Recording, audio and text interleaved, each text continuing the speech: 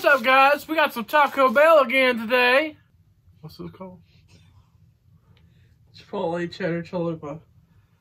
What's up, guys? Josh here again, and today we got the cheddar chipotle chalupa, or chipotle cheddar chalupa. Chipotle cheddar chalupa from Taco Bell. Let's get into it, shall we?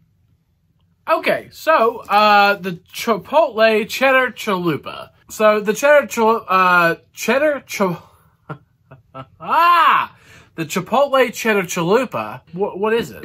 A chewy, flaky chalupa shell filled with seasoned beef, creamy chipotle sauce, lettuce, tomatoes, and real shredded cheddar cheese. So basically a chalupa with chipotle. Yeah. Okay.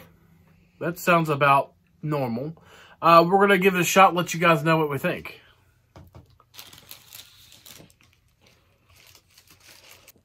We definitely taste the, ch- the, the chipotle. Not too bad. I like chipotle. I'll give that about a nine. I don't know. It's okay. I'm not too often impressed with chalupas. I'm not a, a big, big fan of chalupas from Taco Bell. It's okay. The ingredients are okay. As y'all can see, this is what it looks like kind of inside. Oop. The beef and whatnot.